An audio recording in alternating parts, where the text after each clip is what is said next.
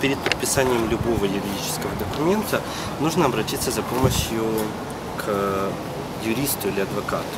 И прежде чем подписывать такие важные документы, э, должен специалист оценить э, все детали.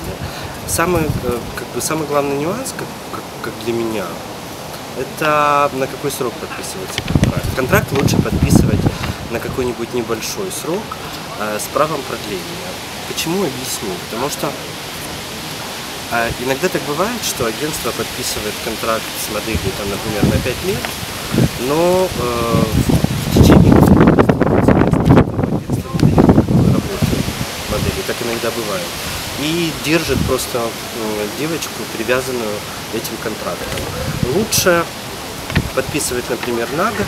Если вы довольны агентством, то каждый год продлевать этот контракт, чем подписать на 5 лет и сидеть и ждать у моря помощи.